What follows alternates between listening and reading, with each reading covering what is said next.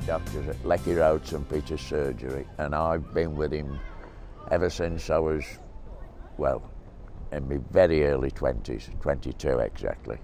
And uh, I wouldn't swap him for the world. I don't believe in it. I don't believe in healthcare no more at all. I lost my faith. My husband's had cancer five years ago, and he was he was looked after very very well.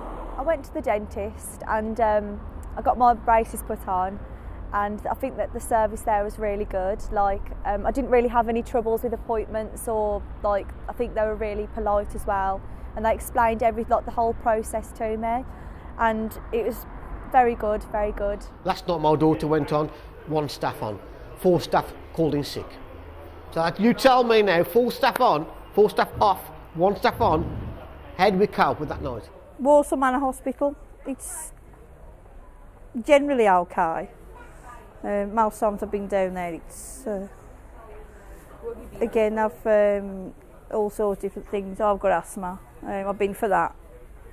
They've sorted me out for that. Phone service was quite good. For some unknown reason, you get senior nurses, but they're very snotty.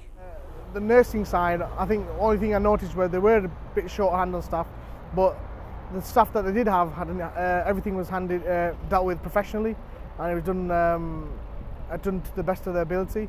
If a, somebody goes in with a complaint and say, "Well, I don't think my dad's been changed, or he's it's not been fed, or is it?"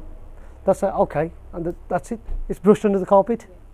More staff, more doctors, more people. Forget about paperwork. Let's let's get them on the, on the ward and let's look after patients. Because sometimes I think in the past I've gone to see a doctor and they've been a bit. I get stuck for words. I don't really know how to explain myself, and they sort of talk with me and help me along and let me know that everybody's there for for me and my kids, which is what you need really. Even on the doctor's point of view, I think the doctor's really good. The specialist that I had to deliver my baby, we were in two minds to uh, it was going to either go cesarean or it could have been it was not eventually delivered naturally, but they handled it professionally and they did the best thing for my wife as well because obviously everyone knows if it would have been an operation, it would have been a complicated procedure then. Uh, people say nowadays that when they ring the doctors for an appointment, they might say, well, you can't get in for next week or this week or poss- possibly two or three weeks. Generally, they're not too bad, but uh, uh, there is a problem now with getting to see the doctor, and you can wait uh, a week to get in to see the doctor. And if it's uh, fairly uh, um, serious, that's not good enough, is it? No. I went to the hospital, doctors, he says, uh, oh, next week. And this is Monday. I can't get in until following Monday. So what's that about?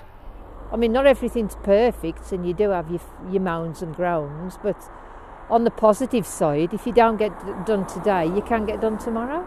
Well, I think there's such a lot of money wasted but they're understaffed, undercut. The government says it's going to be better, it's going to get worse. I think the, the, there could be far more information out there uh, with regards to uh, treatments and uh, helping yourself, really. But I think if you read the papers and you're interested, you will find things out. But I've got so much admiration for Walsall Health, uh, the Manor Hospital, the intensive care unit, and the people who looked after me down there, they were superb, they really were. Uh, I think you have got to go for it sometimes. It's no good saying, can't see the doctor. If you go, sometimes I do play my face. That's a Walsall expression.